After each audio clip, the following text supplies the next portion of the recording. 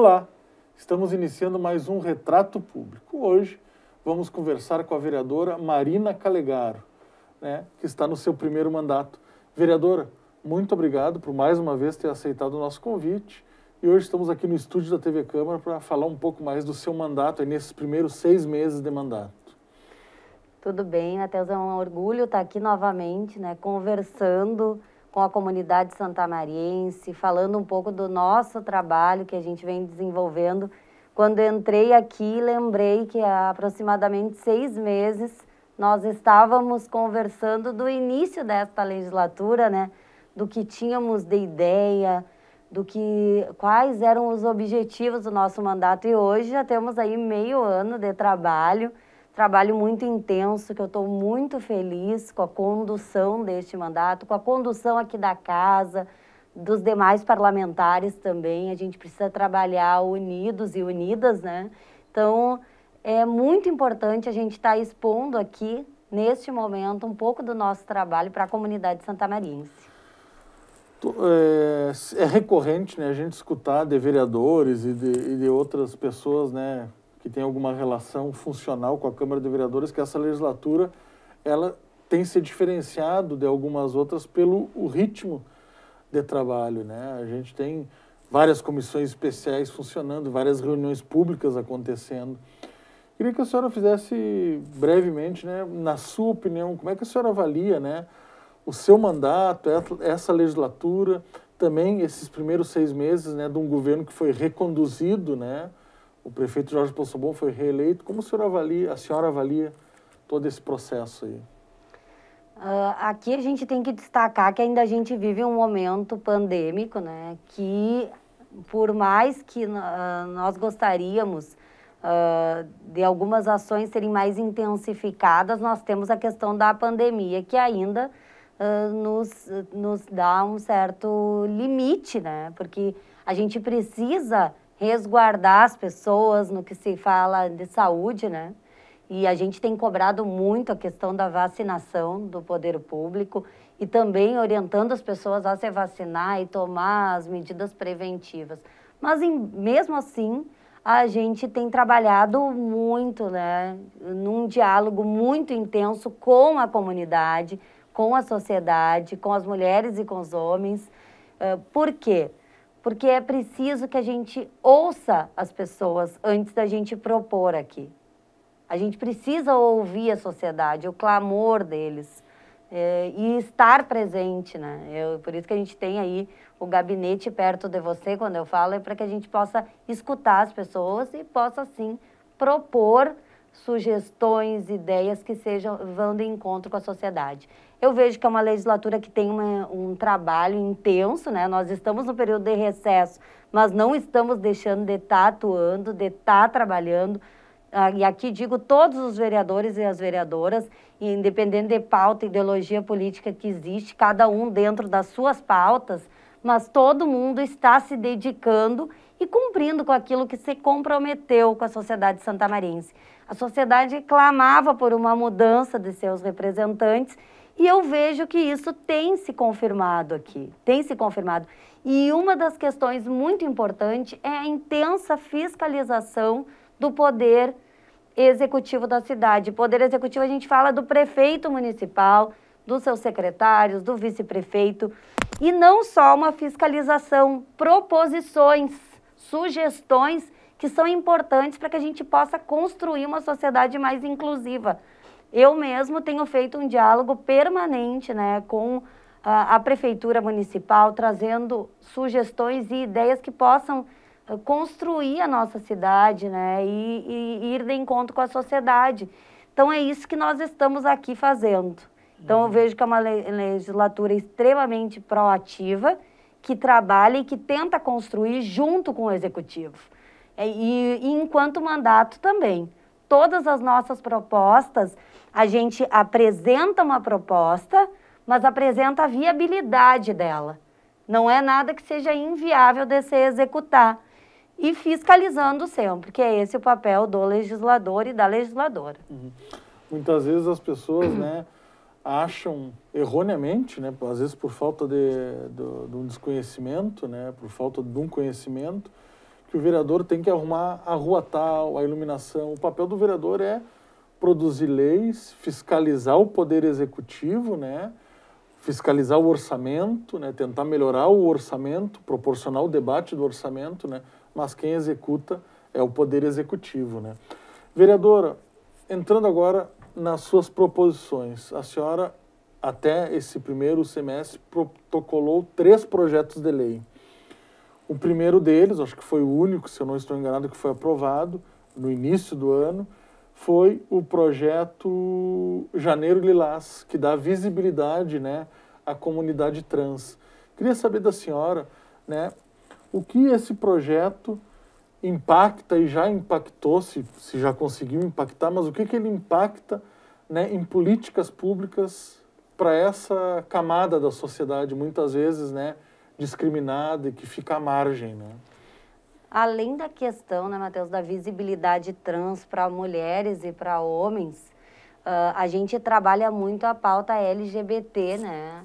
E, inclusive, eu estou fazendo parte de um projeto de extensão da Universidade Federal, que é com base no projeto de lei da vereadora Luci, que foi vetado né, aqui na casa, vetado pelo prefeito, e também né, passou aqui na casa esse veto, que é o, o projeto Diversidade na Escola. Né? A gente está fazendo um projeto de extensão junto com o professor Benhur, junto com a própria vereadora Luci.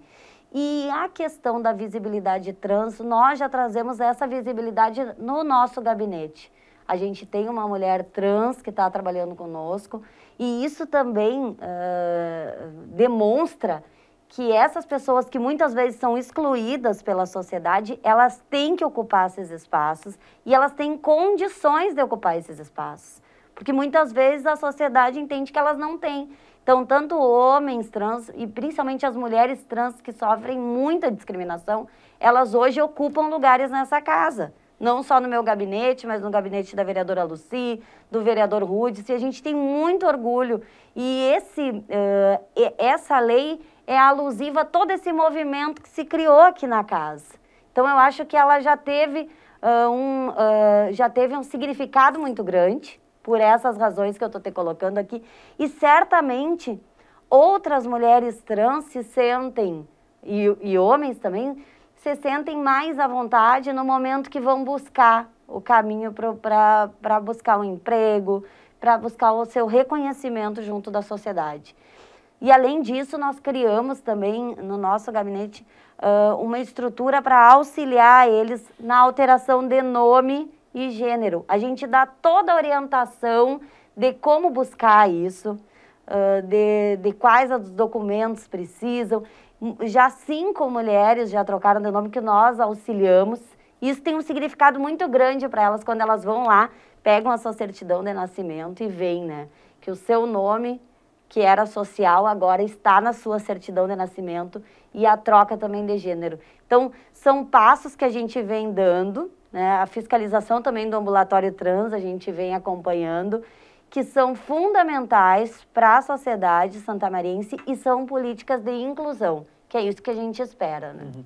Vereadora, é, o janeiro, né, o seu projeto de lei, ele estipula é, no janeiro, lilás, né, no mês de janeiro, que seja feito debates, palestras, temáticas, né? Já tem alguma coisa prevista para esse próximo janeiro? Vai ser em parceria com o Poder Executivo e Legislativo? Seu mandato já está pensando alguma coisa? Como é que está essa questão para o próximo janeiro? Já estamos pensando, sim, né, com base em todo esse trabalho que a gente vem fazendo, com esse grupo também, com esse projeto de extensão da universidade. A gente quer aí trazer esse tema para o debate da Casa Legislativa junto com o Poder Executivo, para que a gente possa, enfim, a partir de, desse diálogo com a sociedade, a gente possa desenvolver uma política pública efetiva, como eu sempre digo, eu gosto muito dessa palavra, né, efetividade, para a comunidade trans, né, para que eles possam, enfim, ter acesso às políticas públicas do nosso município, orientação, porque a orientação é muito cara às vezes, né? Por isso que a gente tem ajudado aí eles nessa, nessa troca do nome. Mas tem outras coisas que a gente precisa evoluir. O próprio ambulatório trans, que eu vejo que teve uma, uma, uma, uma, importante ação de constituir ele, mas a funcionalidade dele precisa ser mais efetiva, né? Uhum. Vereadora, em tramitação, a senhora tem mais duas matérias, né, que não, não, não, não, não chegaram ao plenário ainda para serem avaliadas né, é, pelos parlamentares. Um desses projetos estabelece as diretrizes de prevenção e combate à violência contra as mulheres e meninas né, no âmbito de instituições de ensino do município de Santa Maria. Que diretrizes são essas? Né? Gostaria que a senhora explicasse para o telespectador que nos acompanha um pouco mais dessa matéria. Nós vivemos hoje uh, uma cultura ainda extremamente machista né, no âmbito da sociedade. E a gente precisa trabalhar isso lá na escola, trabalhar a questão das. Uh, já tem hoje duas leis aqui que são. Uh, uma lei, na verdade, que trata no âmbito da escola da Lei Maria da Penha e Lei do Feminicídio. Mas a violência contra a mulher não é só retratada através da Lei Maria da Penha e da Lei do Feminicídio, ela é muito mais ampla. Às vezes o bullying, às vezes a mulher naquela condição que a sociedade impõe que ela tem que ser, né? E muitas vezes ela sofre discriminação, sofre bullying, às vezes até tem evasão escolar por essa razão, né? Então, a gente tem que trabalhar a violência contra a mulher em todos os sentidos. E a ideia da lei é que a gente possa incluir no, no, no currículo escolar esse tema da violência contra as mulheres e trabalhar com meninos também, né? Porque não, é, esse trabalho tem que ser em conjunto para que a gente mude essa cultura lá na educação. É a partir da educação que nós vamos mudar essa cultura que existe e essas diferenças entre meninas e meninos, homens e mulheres. E, e, e vejo que tem uma. A, a, legislação, inclusive, já existe na, em Porto Alegre, tramita também na Assembleia Legislativa, a deputada Sofia Cavedon, do Partido das Trabalhadoras e dos Trabalhadores, que propôs essa lei na, no âmbito municipal e agora discute ela a nível de Estado. E aqui em Santa Maria, a gente trouxe dentro desse contexto. E com a participação de fóruns, de ONGs, da sociedade civil também inserida, através de palestras nas escolas, né, que possam trazer esse contexto para dentro da escola e nós desmistificar essa cultura. Porque é só a partir da educação também que nós vamos conseguir mudar esse cenário de violência contra as mulheres, de tantos feminicídios que ainda existem, né? Ontem mesmo na cidade de São Gabriel, salvo engano, teve uma senhora que foi vítima de feminicídio, uma mulher já idosa, o marido matou ela porque não aceitava a separação. E isso é recorrente. Né? Nós estamos toda hora tratando desse tema. Até porque a gente uh, instituiu aqui na casa né, a Procuradoria Especial da Mulher, que a gente acho que vai falar um pouco aqui também. Então, é muito recorrente. Ontem mesmo eu participava da Semana Acadêmica do diretório do, do, Semana Acadêmica Feminista, né, do, diretor, do, direito da UFSM, que tratou sobre a questão da violência doméstica. Né? Eu estava como debatedora.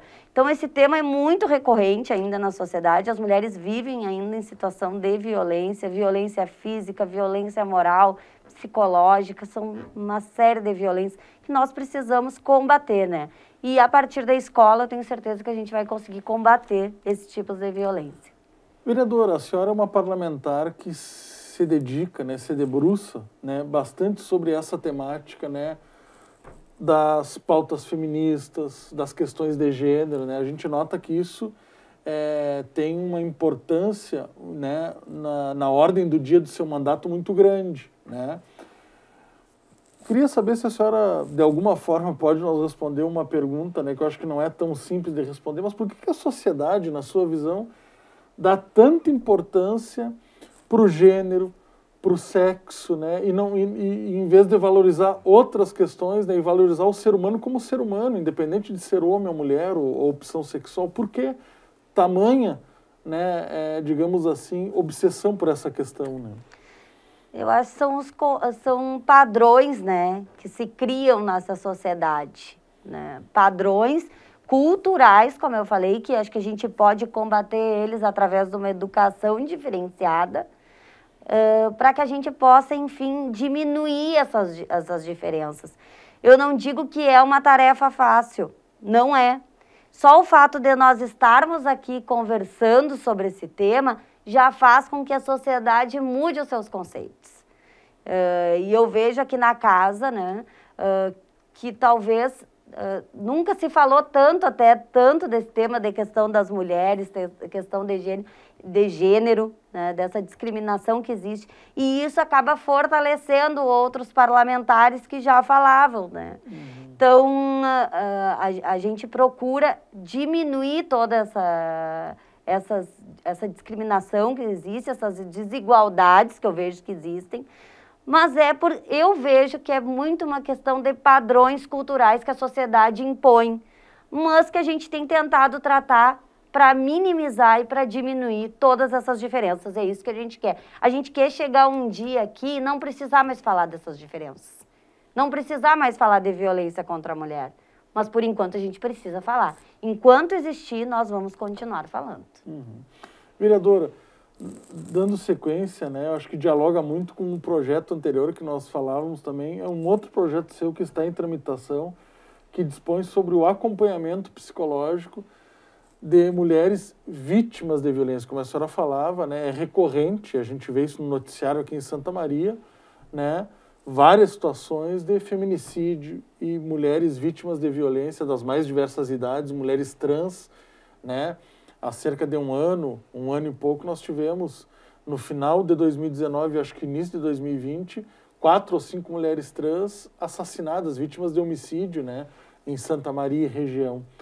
É, é importante ter esse acompanhamento psicológico, o quanto isso impacta, né? Para que essa mulher que foi vítima de violência consiga né, restabelecer a sua vida, digamos, de uma forma normal ou mais próximo da normalidade do que era antes. É muito fundamental ter o acompanhamento psicológico, ter o acompanhamento so ah, de uma assistente social. Uh, esse projeto, na verdade, ele caminha, mas a nossa luta em Santa Maria, inclusive agora a gente apresentou no PPA uma alteração, né? uh, para que uh, se destine parte do orçamento para a criação de um centro de referência para as mulheres. Esse centro de referência, nós aí, junto com o Fórum de Enfrentamento à Violência contra as Mulheres, com o próprio Poder Executivo, nós estamos debatendo ele. E eu tenho, uh, eu tenho muita expectativa e esperança, né? A gente tem que usar esse verbo, esperançar, que vai sair do papel. O Executivo, inclusive, tem debatido, nos chamou enquanto instituição, eu enquanto a procuradora e vereadora, por conta da Procuradoria Especial da Mulher, né? Para que a gente possa ter esse centro de referência. Esse centro de referência, Matheus, vai ampliar esse serviço, inclusive, que nós estamos propondo aí. Não só através de psicólogos, como assistente social, como também Hum, a, a, a, assistência jurídica dessas mulheres. Então, esse centro de referência é muito fundamental para a cidade de Santa Maria. Tem outros municípios que já têm, como Canoas, tem, funciona muito bem.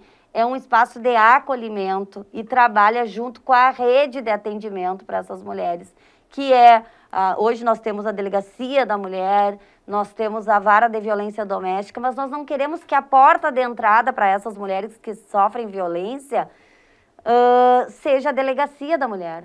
Tem que ser o centro de referência para as mulheres, que elas já vão receber todo esse aporte de psicólogos, assistente social, uh, assessoria jurídica, que vai ser fundamental para elas aí e com certeza dando um resguardo muito grande para as mulheres vítimas de violência.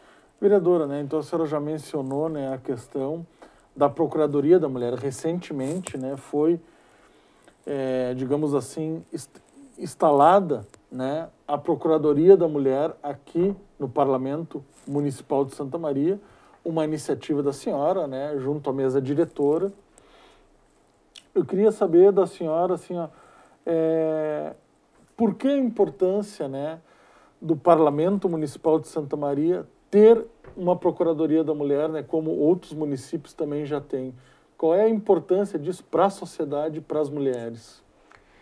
Uh, hoje eu tenho mais certeza da importância pela procura das mulheres até o, a Câmara de Vereadores e Vereadoras e a procura na Procuradoria Especial da Mulher. As mulheres têm nos procurado. uh, tanto as mulheres que sofrem violência, uh, e a violência ela não precisa ser só no âmbito doméstico, em todos os sentidos, como também pela ausência das políticas públicas do nosso município. É, porque a gente é essa função nossa enquanto parlamentar, uh, apontar a, a, as ausências do poder público. Então, elas têm nos procurado nesse sentido e hoje eu tenho mais certeza da necessidade desta procuradoria. E tenho muita felicidade dela ter se efetivado já nesse primeiro semestre. Uh, nós propusemos ela lá no dia 8 de março, Dia Internacional da Mulher. É muito simbólico isso. É um dia de luta para nós mulheres, né? Não é um dia de comemoração. É um dia de luta e a gente propôs e foi acatada pelos 21 parlamentares aqui da casa, pela mesa diretora. Aqui, desde já, agradeço ao presidente, Coronel Vargas, que nos auxiliou na construção desta procuradoria, que atende aí as mulheres de mais diversas, uh, mais diversos sentidos, né, como eu te falei. Inclusive, pessoas da, uh, acadêmicas da universidade já nos procuraram por questões de problemas lá dentro. Então, isso é muito importante. A Procuradoria pode e deve virar uma referência no nosso município. E como a gente estava falando antes de iniciar, são poucos municípios no Brasil que têm. A gente já foi procurada, inclusive, pela Câmara do, da, de Deputadas, né? Para tratar do tema, para que eles possam demonstrar como que funciona lá para que a gente possa buscar essas experiências e acho que a gente está trabalhando muito e eu estou muito feliz com o resultado da Procuradoria. Porque no momento que as mulheres nos procuram, é que a Procuradoria está sendo divulgada e precisa do, deste serviço no município. É mais um serviço institucional, né? A gente tem que deixar claro aqui que a gente está desenvolvendo eu estou muito feliz com o resultado que ela está tendo. Vereadora, para o telespectador e para a telespectadora né, que nos acompanha, é...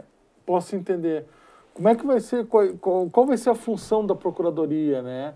É, por exemplo, uma mulher é, vítima de violência ou que tem alguma denúncia para fazer, como é que a, a, Procuradoria vai atuar nessas situações especificamente? Ela vai procurar né, a Câmara de Vereadores e Vereadoras, ela tem esse canal com a Câmara, né? A gente ainda está estruturando algumas questões, a gente vai ter uma sala especial para atender, já tá, já tem essa sala, né?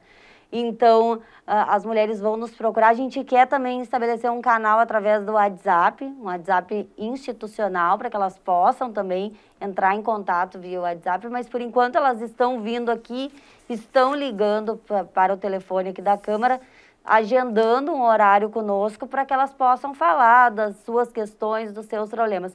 São mulheres que sofrem violência, né? Elas podem nos procurar para ter o acolhimento e a gente vai recebê-las e direcionar para os serviços que hoje existem, né? Hoje o município tem um serviço, de, é, o Espaço BMCare, que atende no âmbito psicológico e de assistência social. Hoje tem um serviço que é recente, que até poucas mulheres conhecem, que a gente está encaminhando para lá. Tem a Delegacia da Mulher, tem a Vara de Violência Doméstica. Então, tem os serviços hoje que a gente pode direcioná-las, né? E dependendo de cada circunstância, né? Se é a ausência do poder público, em algum aspecto, na questão da saúde, na questão do CRAS, para encaminhamento de Bolsa Família, que estou citando exemplos. Essa mulher pode vir até nós, que a gente vai tentar encaminhá-la para esse serviço se ela está tendo alguma dificuldade, que a gente já, já passou aqui na Procuradoria por certas dificuldades nos serviços do município e a gente tenta auxiliá-la, né? Então não é só no âmbito da violência, é também na parte de necessidade do poder público, né? Para uh, eh, encaminhar para algum serviço que ela não está tendo assistência e a gente tenta buscar que essa mulher tenha assistência eh, digna, né? Que ela merece, para que possa ser atendido o seu pedido. E possa acessar os serviços né, municipais Exatamente. disponíveis. Vereadora, a senhora falou que essa, a sala da Procuradoria né, está sendo organizada, né? E a gente conversava antes do início do programa, a senhora tem uma proposta que essa sala seja denominada de Isadora Viana, né? Uma homenagem, né, a Isadora, né, que faleceu em 2018, né? Queria que a senhora falasse um pouco mais dessa homenagem. A senhora que também fez uma moção, né, juntamente com mais duas vereadoras, a vereadora Lucia e a vereadora Maria Rita, né, pedindo justiça, né, para esse caso da Isadora, né? Sim, esse caso que na verdade não aconteceu aqui em Santa Maria, mas envolveu pessoas aqui da cidade, né, tanto a vítima, que é a Isadora, quanto o autor, eles são daqui da cidade de Santa Maria. A gente sabe da, da, da dificuldade que hoje tem nesse processo e a gente pediu justiça porque o processo tem que ter mais celeridade, ele precisa ir para o tribunal do júri e a gente pediu, fez essa moção que subscreveram as outras duas vereadoras e foi aprovado aqui pela casa, inclusive já foi encaminhado para o Tribunal de Justiça da comarca de Santa Catarina, né? E a gente gostaria que essa sala, e já propusemos, né, que levasse o nome da Isadora, que é uma mulher que sofreu feminicídio e que merece a nossa homenagem, para que outras mulheres não sejam vítimas de feminicídio, né? Acho que seria muito, eh, muito justa essa homenagem para a Isadora, inclusive a família dela já aceitou, né, já deu anuência para que possamos construir o nome da Isadora Viana e que leve aí na sala que vai atender as mulheres vítimas de violência. Uhum. Vereadora, um outro tema que a senhora tem se dedicado muito desde o início do seu mandato é com relação à renda básica, né, de cidadania e renda básica emergencial, né, para auxiliar as pessoas, né, que estão mais vulneráveis nesse momento, né, que é um momento de pandemia, né, onde a gente vive uma crise brutal sanitária e também uma crise brutal econômica, né? O país vive, enfim, né? É, como é que está essas tratativas? É um projeto de sugestão, né? Porque envolve recursos do município, então não pode ser um projeto de lei, mas é um projeto de sugestão que a senhora fez e encaminhou para o Poder Executivo. Como é que está a tramitação para realmente se efetivar essa renda básica? Essa é uma das pautas, assim, também prioritárias né, do nosso mandato, a criação de um programa de renda básica emergencial e também, no futuro, uma renda básica permanente, porque a gente sabe ainda da necessidade das pessoas que vivem em situação de vulnerabilidade social no nosso município. É muito drástica a situação das pessoas, né? E... Uh, nós propusemos um projeto sugestão lá em fevereiro, né, no, dia, no, no, no final de fevereiro. Esse projeto vem caminhando com um diálogo permanente com o Poder Executivo, com o prefeito municipal, e nós apresentamos uma sugestão também para implementação, utilizando-se do orçamento desta Casa Legislativa porque muitas vezes, e já vem acontecendo reiteradamente nos últimos quatro anos, da Câmara não utilizar todo o seu orçamento. E por ser uma situação de pandemia, num momento tão difícil, a casa se mostrar uh, para a sociedade na intenção de ajudar o Poder Executivo a construir essa renda básica. Né?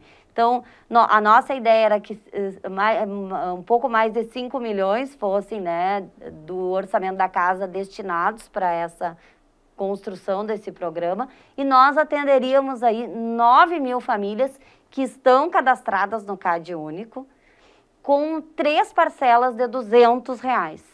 Então, são as famílias em maior vulnerabilidade social do município. Eu vejo que o projeto tem tido uma adesão dos demais parlamentares, todos concordam com essa utilização do orçamento. Tanto é que a gente fez um documento e entregou para o presidente da casa, para que também dê segurança jurídica para ele e um aval de todos, né? E está sendo feito estudos, tanto aqui da casa quanto do executivo municipal, para que a gente possa implementar. Então, eu tenho certeza que agora, no segundo semestre, esse projeto sugestão vai virar uma realidade, vai atender as famílias que mais precisam no município de Santa Maria. Vereadora, infelizmente nós somos limitados pelo tempo, poderíamos ficar tratando e conversando sobre outras questões. É, mais uma vez gostaria de lhe agradecer por ter aceitado o nosso convite né, e vir falar um pouco mais do seu mandato, das suas ações né, que a senhora vem desenvolvendo até esse primeiro semestre de 2021. Muito obrigado. Nós que agradecemos, né, utilizar esse espaço, dizer para a comunidade que o nosso gabinete está sempre à disposição. É o gabinete perto de você. A gente tem ido com todas as cautelas necessárias até as comunidades, porque a gente sabe da dificuldade das pessoas de estarem aqui. A gente precisa, enquanto parlamentar, estar perto das pessoas, por isso que a gente tem o gabinete perto de você para que a gente possa atendê-las, ver as necessidades de cada comunidade, de cada localidade da cidade, para que a gente possa ver as demandas e encaminhar, fiscalizar, que é esse o dever dos vereadores e das vereadoras da cidade. Então, nosso gabinete está à disposição através dos nossos telefones, através das redes sociais, né? O nosso telefone é 3220 7246, nosso WhatsApp é 99 69 13015. E as nossas redes sociais Marina Calegar também estão abertas para a comunidade santa mariense nos procurar e o gabinete é o 02. Tá certo, vereadora, mais uma vez muito obrigado. Sucesso no seu mandato e sucesso a todos os mandatos dos parlamentares. Gostaríamos de agradecer a você também pela audiência, por ter nos acompanhado até esse momento Fique ligado à nossa programação através do canal aberto 18.2 e também através das nossas redes sociais. Até o próximo Retrato Público.